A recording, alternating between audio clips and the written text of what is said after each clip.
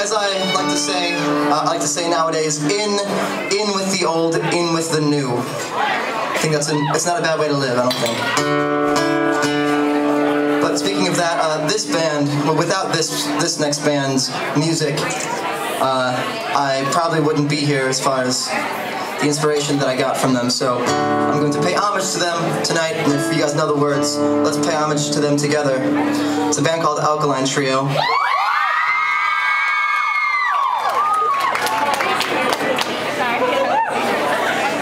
Song goes like this.